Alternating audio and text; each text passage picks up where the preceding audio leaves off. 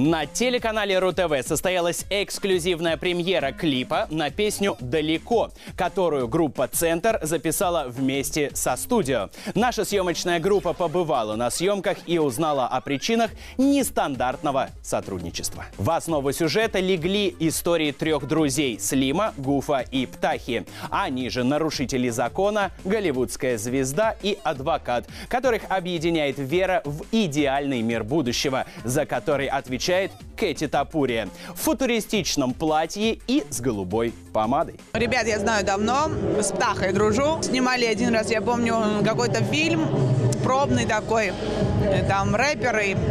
И я играла типа телочку какую-то. Вот, и там как раз мы сдружились. Этот фильм, к сожалению, не вышел. Не знаю почему, что-то у них не вышло. Видимо, из-за того, что мы снимались. Режиссером клипа выступил Алексей Голубев. Именно он придумал локации и догадался, что наиболее органично Гуф будет смотреться за решеткой. Что-то не так опять. Что-то что сделал, что сделал хорошее, а опять что-то не, всем что-то не так. Воссоединение группы «Центр» и их объединение с группой А-студио уже можно увидеть в эфире телеканала РУ-ТВ.